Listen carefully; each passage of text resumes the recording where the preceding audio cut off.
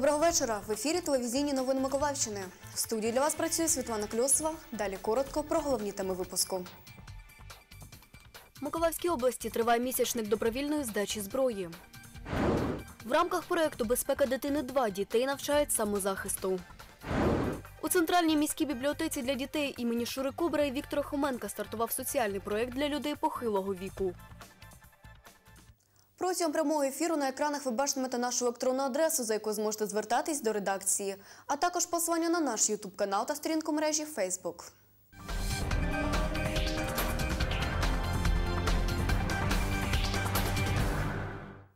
На Миколаївщині триває місячник добровільної здачі зброї. В науково-дослідному експертно-криміналістичному центрі розповіли та показали, що роблять зі зброєю після її добровільної здачі.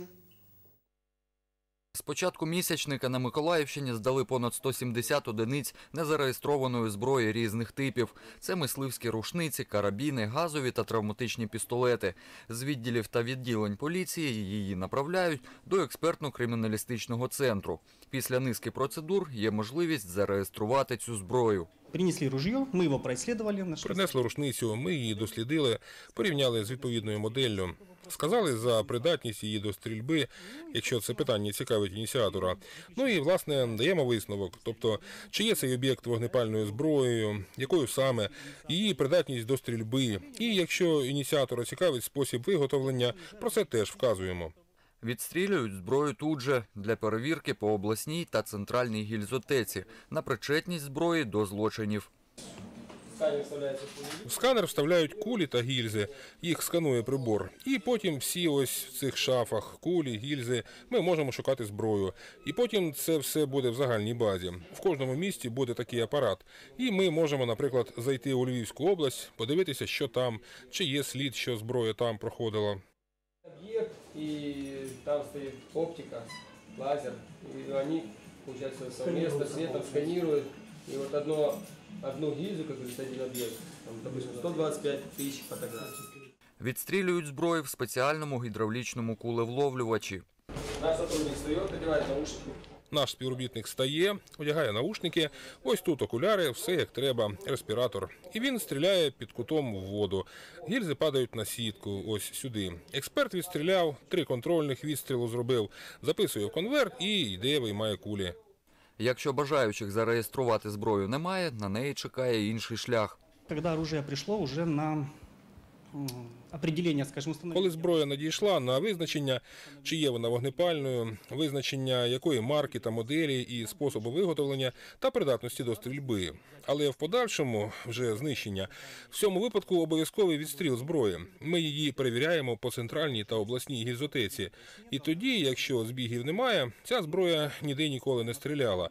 Ми її відправляємо ініціатору, а ініціатор вже знищує. Місячник добровольної здачі незареєстрованої зброї триватиме до 30 квітня. Громадяни, які принесуть її до поліції до цієї дати, звільняються від адміністративної та кримінальної відповідальності за її незаконне зберігання. Олександр Гордієнко, Ігор Чорний, телевізійні новини Миколаївщини. В Миколаєві стартував проєкт Безпека дитини 2 Дітей навчають самозахисту другий рік поспіль. Проєкт розпочали з тренінгу із самооборони для молодшої групи дітей від 5 до 7 років. Усього 13 учасників. Практичні та теоретичні заняття проводить інструктор Ігор Конвішер. мінімум теоретичних знань, максимум практики. Е, Це навички безпе...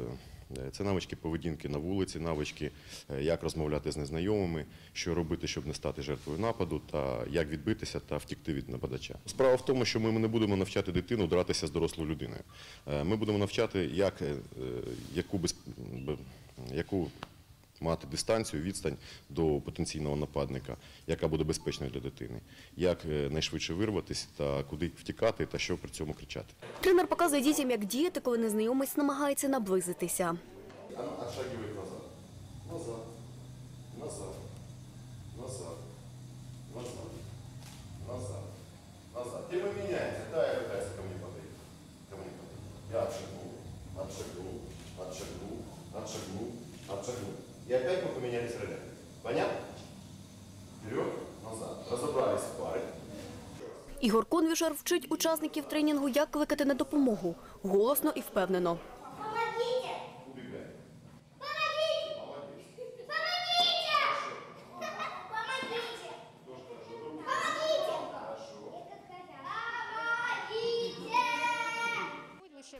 Привела сина Едуарда на заняття самооборони Олена Клепа. Спостерігає за рухами сина.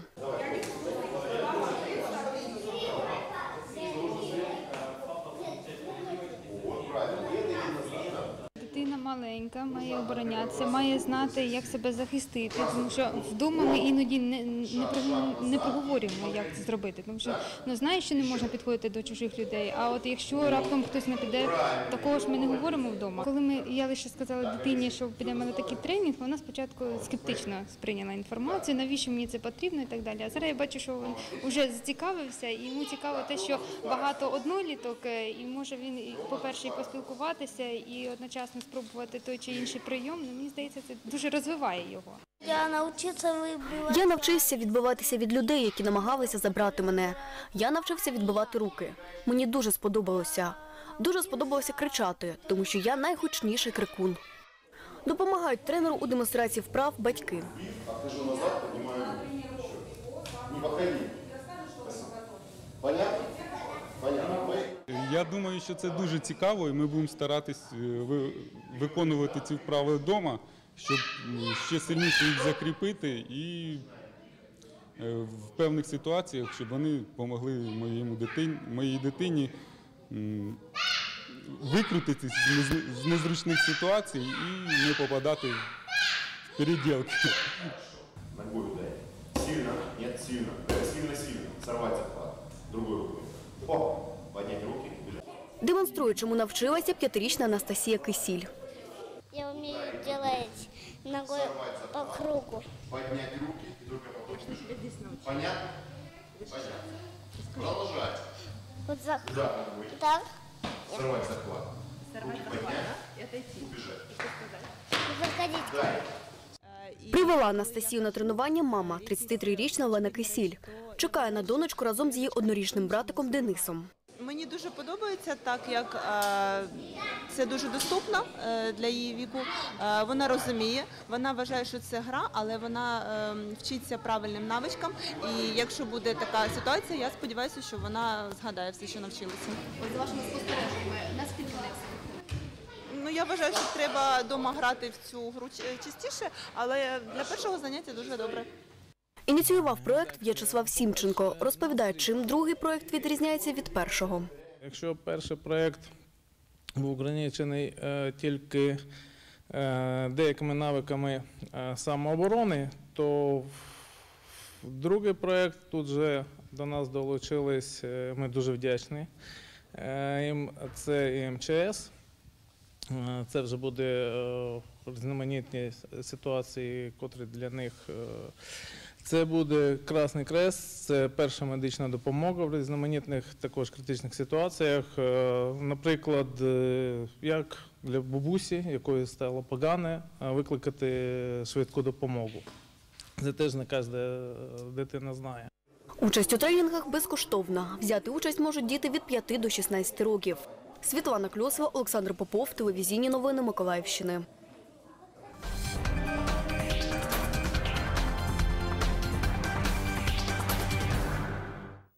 Сьогодні Лефортовський суд Москви обирав, чи продовжувати арешт українським морякам. Про це нашим колегам з новин на першому розповіла уповноважена прав людини Людмила Денісова. На засідання приїхали і родичі моряків. Більше розкаже Олена Блізнякова.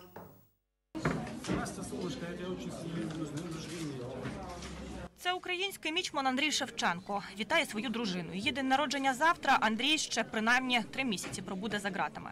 Такі рішення в Лефортовському райсуді Москви виносять сьогодні українським морякам. У коридорах суду їх всі зустрічають оплесками. На засідання приїхали рідні, тож декому вдається ненадовго обійняти своїх синів та чоловіків. 24 військовополонених ділять на четвірки. Рішення про подовження їм запобіжного заходу одразу у трьох залах засідань розглядають у Лефортовському районному суді Москви у дві зміни. Ось що хлопці говорять до початку засідання. Вы можете говорить? Это они не могут говорить, а вам можно все. А, а можно? Вам ничего не будет. Все, все буде Україна. Вже на засіданні ще раз наголошують, вони військовополонені. Уважаемый суд, согласно статье 17 Женевской конвенции о отношении к военным пленным, военнопленный может назвать из себя имя, фамилию, отчество, воинское звание, дату, месяц своего рождения и личный номер. Место своего рождения указывать не буду.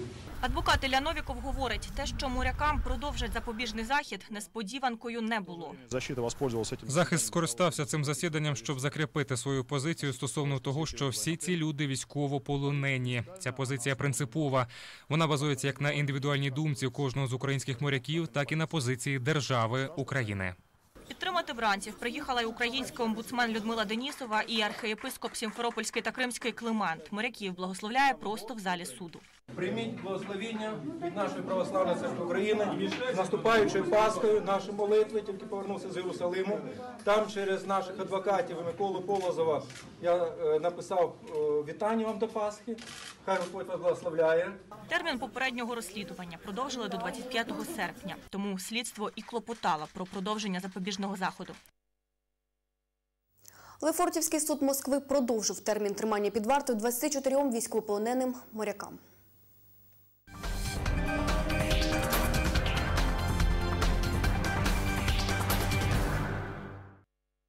Інтелектуальна гра з нагоди Всесвітнього дня охорони праці відбулась у Миколаївській науково-педагогічній бібліотеці. У вікторині змагались три команди, в кожній сім учасників. До гри долучились вихованці суднобудівного ліцею, ліцею будівництва та сфери послуг і вищого професійного училища номер 21. На перемогу, мабуть, налаштована, тому що кожен з нас хоче перемагати. Тому все ж таки надія є. Тому побачимо, що вийде. Тематична гра складається із двох блоків: перевірка загальних знань та питання, що стосуються охорони праці і кількох турів. Гра складається із декількох турів: розминка, спеціальний тур з охорони праці, перевертні з приказок, тур анекдотів, конкурс уболівальників, тур що де коли. Дуже цікавий сектор казино, коли команда спочатку робить ставку, а потім дізнається, виграла вона чи програла. Ну і завершує все це дуже цікавий тур, який називається сектор ризику. Захід організували співробітники управління держпраці Миколаївської області. Будь-яка дитина, по-перше, має усвідомлювати небезпеку, по-друге, має е, зрозуміти, як її уникнути. І потім це інтерпретувати з повсякденного життя на безпосередньо професійну сферу. Вікторія Чорнявська, телевізійні новини Миколаївщини. Усі кольори життя у бібліотеці. Соціальний проект із такою назвою презентували співробітники Центральної міської бібліотеки для дітей імені Шури Кобра і Віктора Хоменка. Сначала я водила сюда своих внуков. Водила одного, Спочатку я водила сюди своїх онуків, водила одного, водила другого, а потім і сама. Приходжу, питаю, стоїть у нас якраз викладач. Я не знала, що це не вона. А у вас немає курсів для пенсіонерів? Так, 73-річна Валентина Орлова розпочала ходити до дитячої бібліотеки. Спочатку курси комп'ютерної грамотності, тепер новий проект для людей похилого віку. Коли людина виходить на пенсію, часто постає таке питання, як реалізувати себе у соціумі, з ким спілкуватися, як знайти друзів, де їх знайти. І наш проєкт е, е, для того, щоб люди з- могли знайти тут собі друзів, спілкуватися. Ми їх будемо навчати комп'ютерної грамотності, будуть різні творчі зустрічі, а, будуть е, різні бібліокафе, спілкування. Першу зустріч учасників проекту організували у форматі бібліокафе. Під чашку чаю пенсіонери спілкувались та слухали пісні. Много лет славный город наш был, Сколько в бурные воды когда-то Славных он кораблей проводил. До участі у проєкті записалось 20 пенсіонерів. Серед них і 70-річна Людмила Півень. Каже, до бібліотеки навідується часто. Ви знаєте, бібліотека дитяча, але тут є багато цікавих книжок, не тільки дитячих, не тільки дитячих. Дуже багатий у них книжковий фонд і багато різних книжок. Тому цікаво людям, людям, які люблять читати, то цікаво бути тут. Всім треба людям, особливо нашого віку. Дуже, Крім того, що ми багато нового знаємо, ще й спілкування ж багато значить. Соціальний проект відбуватиметься у рамках стратегії розвитку сучасної бібліотеки. Сьогодні бібліотека це не просто книгохранилище. Сьогодні бібліотека це не просто книгосховище. Сьогодні це культурно-соціальний центр. У бібліотеці відбувається дуже багато різних заходів. Бібліотека має дуже багаті книжкові фонди на різних носіях. Ну і до нас приходять різні категорії містян різної вікової категорії. Вікторія Чернявська, Ігор Чорний, телевізійні новини Миколаївщини. Як сповіщали про пожежу в Миколаєві 230 років тому? Як виїжджали на гасіння вогню? Чим захищалися рятувальники? Про це в день пожежної охорони нам розповіли у виставково-інформаційному центрі головного управління Державної служби з надзвичайних ситуацій в Миколаївській області. З 1849 року, а саме тоді в Миколаєві з'явилася перша пожежна частина. Про займання вогню сповіщали такими дзвонами. Где дежурили... Були каланчі, де чергували перші пожежні, і коли бачили в місті вогонь, у такий спосіб визивали пожежних. Пересувалися тоді пожежні на такому кінно-діжковому ході. Діжка, великий віз, запас достатньої води, ручні перші насоси і коні допомагали пересувати цей віз. Місто зростало і дзвону вже було замало. Тоді на вулицях встановили ось такі телефони. Стоял в будочке, он ждал. Стояли будочки, очікували. Передавали все дротами. Варто було тільки зняти слухавку апарата.